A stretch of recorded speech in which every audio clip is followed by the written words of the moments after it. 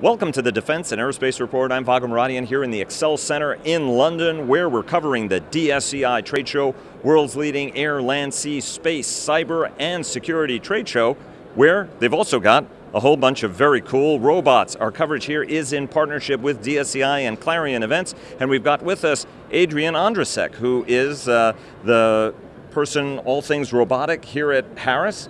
Adrienne, thanks very much for joining us. Thank you. And a special shout out to Mick, one of the best dressed guys in this show, who's actually operating this little baby. Can I get my microphone back, Mick? Mick, thanks so much. I appreciate that. Wow, you guys didn't even bust it up. That's really great. So, Adrienne, Yes.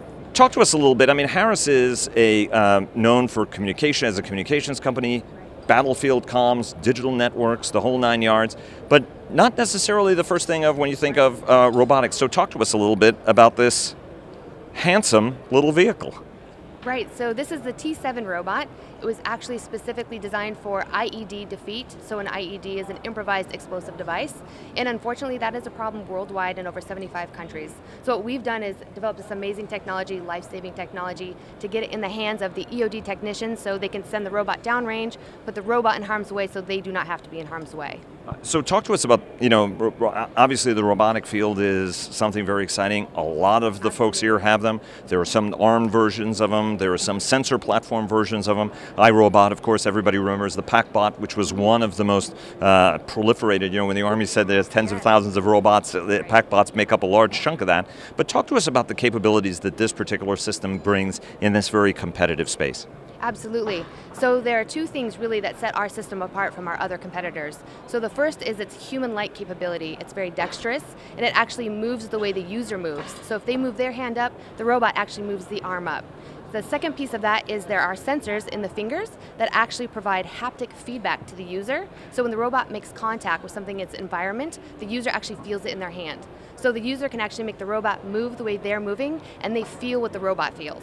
And, and that was also one of the reasons why you didn't crush this very nice Electro Voice German microphone. Um, so talk to us a little bit about that because you know there's been uh, discussion for many years that haptics was going to change the world. iPhone used that in, in terms of the replacing of the button, but even before that, the the Apple Watch has. I'm an Apple Watch wearer, and haptics were a key part of it, where it gives you a tap on the wrist. Talk to us about how haptics are going to change how we interface, especially with with robots and and other autonomous systems, even transglobally, you'll be able to get a lot of tactile feel.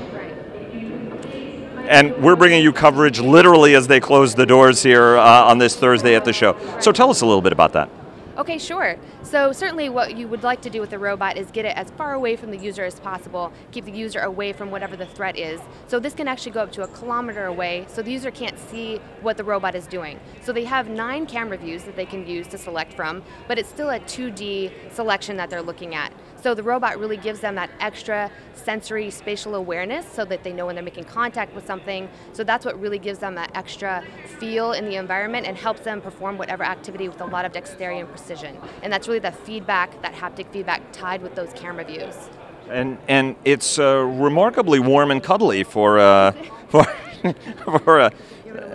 It is. It is. It's very sweet. Um, we look forward to it growing up into Gigantor. Um, but but tell us a little bit about what's next in robotics. You're a professional in this field. You know, where are we going to be? I mean, the wars in Iraq and Afghanistan were absolutely critical in driving the state of the art of autonomy. Commercial applications are driving artificial intelligence, but where is the nexus of these two systems going to take us even five years from now, whether in form, fit, and function of how these robots are going to operate, or the kind of networks in which they're going to operate? So certainly I do think you, you've touched on one thing is I think there is maybe a lot of networking, a lot of pairing of systems. So like a ground vehicle with an airborne vehicle can work in tandem.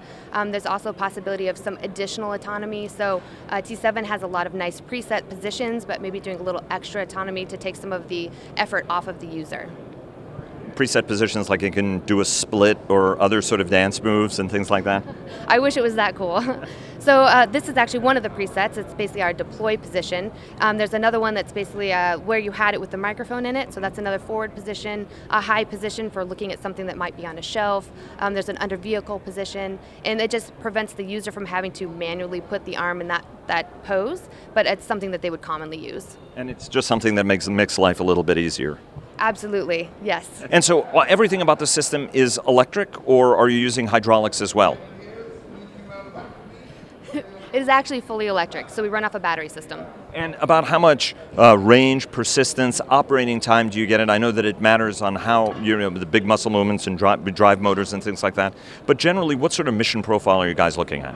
So we can go up to a, kil- a kilometer away, and the system has about 10 hours of runtime with uh, fairly heavy use for our mission. And right now at the show, we can run off a series of batteries for the entire show. Wow. And and about how fast is the recharge time? Because you know, soldiers always want to make sure that they get the system back in battery, if you will. How long for you to charge whatever kind of preventative maintenance you have to do to keep the system running? Right, so fortunately the system does have some regenerative capability, but it really depends on the battery you choose. So we use a standard off-the-shelf BB2590. Those usually recharge within a few hours, but again, it would depend on the user, whatever they select to use in the system. Fantastic. Thank you so much. Really appreciate it, Mick. Thank you. Thank you very much. And look forward to following you guys uh, in the future because this is definitely one of the cooler interviews we've done here. Thanks very much. Thank you.